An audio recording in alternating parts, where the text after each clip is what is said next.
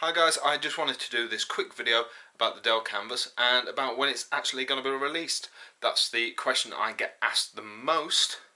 Um, there's my Dell Canvas, but there is also my Dell Canvas. Yeah, I know it doesn't help for you guys waiting to get hold of one that I actually have two.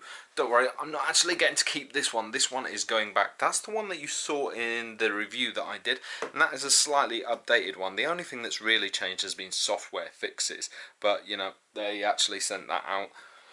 Um, and I'm just going to send back my old one. I've been working slightly behind the scenes with them, you know, just a bit of beta testing. I do that with a lot of companies, you know. Um, and I really, I really love doing that. But yeah, they'll have been absolutely amazing, and they're they're really good to work with. So I'm happy to do that. That's the only reason there's been any delays is they really want to bring you the best tablet possible, and I think that's a really good idea. To be honest, I know some of you just want to get your hands on the tablet.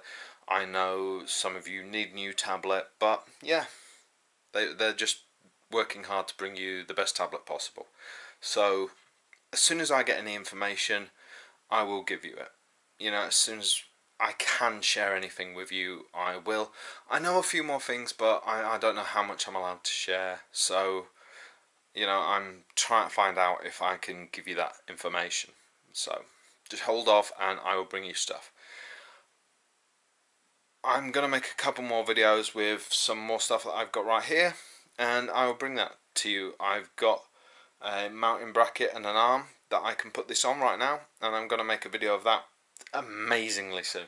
Um, yeah, this the experience on this is even better than I've shown you before and I'm going to do some videos on that too. Yeah, so I will see you very very soon. Bye.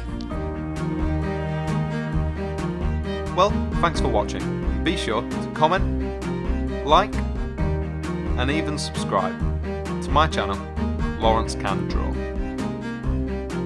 And if you really did like what you saw here, you can see more of it on my website, lawrencemann.co.uk. I'll see you next time.